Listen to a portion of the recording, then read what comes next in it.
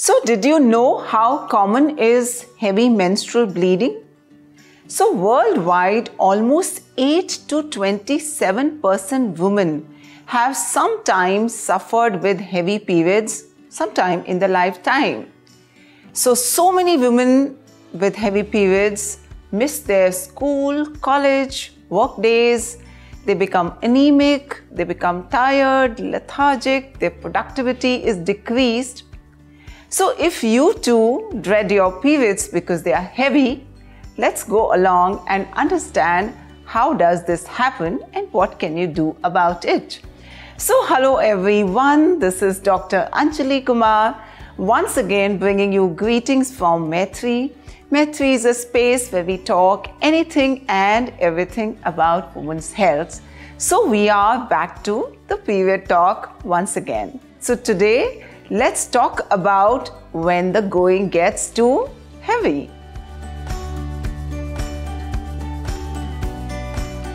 So, what is a heavy period? Actually, it is little subjective too. Many women actually feel that they are bleeding heavily, but actually the bleeding is normal. While many women feel it's a normal period, while the bleeding could be actually very heavy. So, how do we objectively define if your period is heavy? So, if you are bleeding for more than 7 days, if you are passing clots which are typically more than 2 centimeters in size, if your period causes flooding, which means that your clothes, your bed sheets, your even furniture gets stained by the period flow, or in case you have to change your menstrual pad or a tampon which is fully soaked more than 5 or 6 times a day or in case your periods actually cause your hemoglobin to drop, causes tiredness, lethargy and weakness, yes, it is a heavy period. So now let's understand what causes the periods to become heavy. The causes could be very simple while some of the causes could be actually very serious too. So, the first cause of the heavy period could be a simple hormonal disturbance. It could be a thyroid problem or maybe a PCOD. So, this actually causes the cycles to become anovulatory, which means the ovulation is not happening. So, when the ovulation does not happen, the endometrium actually becomes very thick because of unopposed estrogen, because there is no progesterone. So, the treatment could be very, very simple just the treatment of a thyroid or a PCOD, and the periods could be back on track. The second most common cause of heavy periods is uterine fibroids. So, uterine fibroids are actually non cancerous tumors of the uterine muscle. These fibroids could be small, large, single, multiple, they could be placed at various places in the uterine muscle. Some of the fibroids which are projecting inside the cavity of the uterus, these are known as submucosal fibroids, are more likely to cause heavy periods. While some fibroids could be just inside the uterine muscle, these are known as intramural fibroids, and some of the fibroids are actually protruding outside the uterus.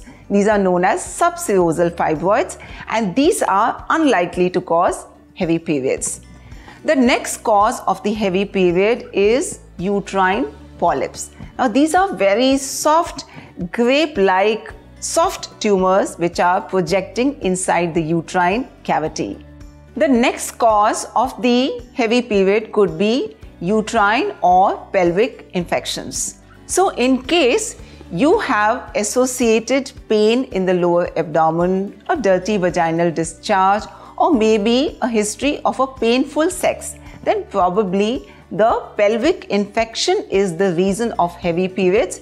And once again, we treat the infection and the heavy periods get sorted out.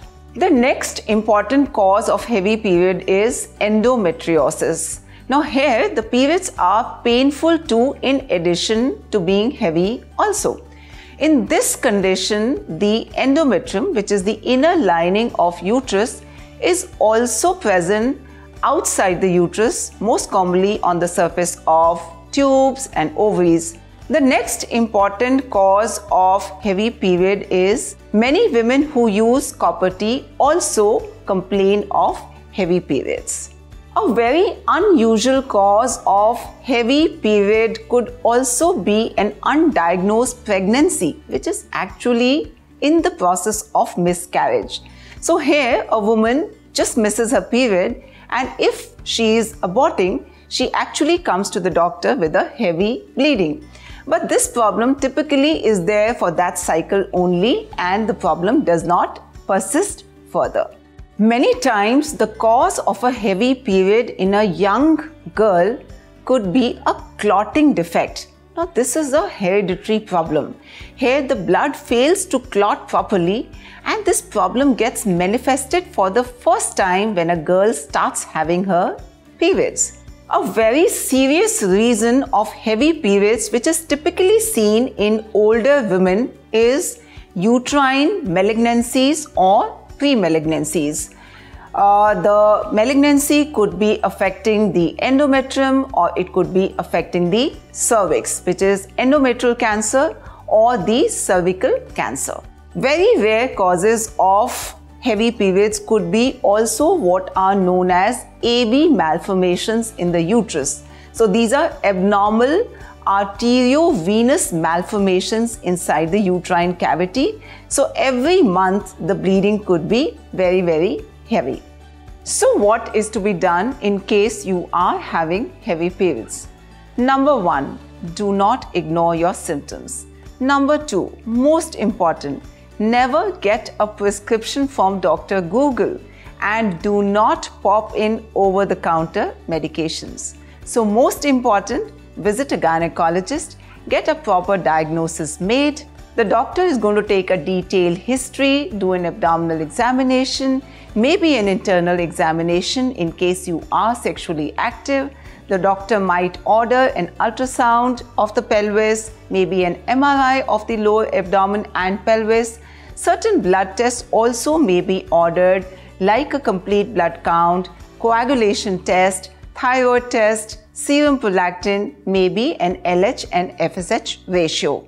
The doctor may also like to do what is known as hysteroscopy and an endometrial biopsy in case there are any suspicious findings on the ultrasound or the MRI of the pelvis. So now what are the treatment options which are available for heavy periods? So obviously the treatment depends upon the cause of the heavy periods. Number one, we correct the anemia, we treat the infections. In case you have any hormonal problem like a thyroid or PCOD, we treat that.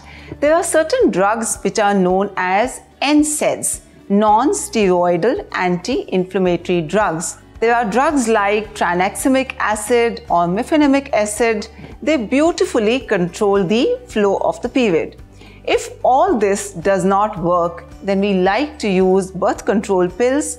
We also use a medicine called progesterone.